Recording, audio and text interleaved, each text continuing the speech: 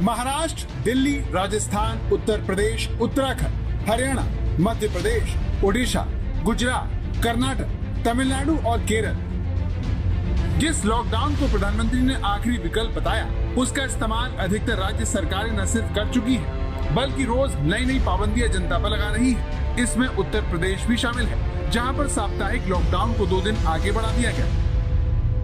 उत्तर प्रदेश में किश्तों में बंदिशें बढ़ाई गई। पहले सरकार ने 15 अप्रैल को 10 जिलों में नाइट कर्फ्यू लगाया। फिर 29 अप्रैल को तीन दिन का वीकली लॉकडाउन लगाने का ऐलान किया, जो शुक्रवार रात आठ बजे से मंगलवार सुबह सात बजे तक चलता जिसे आज दो दिन और आगे खिसका दिया गया।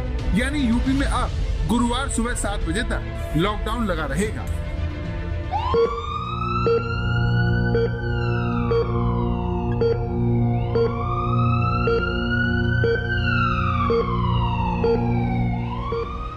उत्तर प्रदेश में कोरोना के मामले तेज़ी से बढ़ रहे हैं। लोग ऑक्सीजन और अस्पताल में बेड के लिए भटक रहे हैं, जिस पर काबू पाने के लिए हाई कोर्ट तक लॉकडाउन लगाने को कह चुका है। देश भर की सरकारें लॉकडाउन का विकल्प आजमा रही है। महाराष्ट्र में 14 अप्रैल को लॉकडाउन जैसा कर्फ्यू लगाया गया, फिर इससे पहले एक मई और फिर 15 मई तक बढ़ा दिया गया। दिल्ली दोबारा संपूर्ण लॉकडाउन लगाने वाला पहला राज्य बना। 19 अप्रैल से शुरू हुई ये पाबंदियाँ 10 मई तक जारी रहेंगी। राजस्थान में 18 अप्रैल को आंशिक लॉकडाउन लगाया गया। फिर 28 अप्रैल को जन अनुशासन पखवाड़ा नाम देकर लॉकडाउन जैसी पाबंदियाँ जनता पर लगा दी गई जो अब 17 मई तक जारी रहेंगी। हरियाणा में कोरोना के बढ़ते केस को रोकने के लिए सरकार ने आज अगले सात दिन तक लॉकडाउन लगाने का ऐलान किया।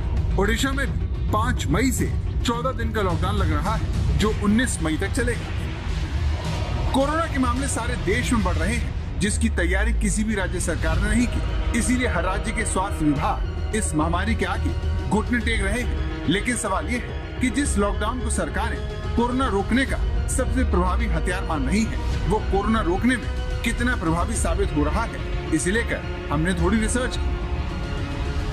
महाराष्ट्र में 14 अप्रैल को लॉकडाउन लगा। उससे 24 घंटे पहले वहाँ साठ हज़ार दो कोरोना के नए केस मिले और दो सौ इक्यासी लोगों की मौत हुई।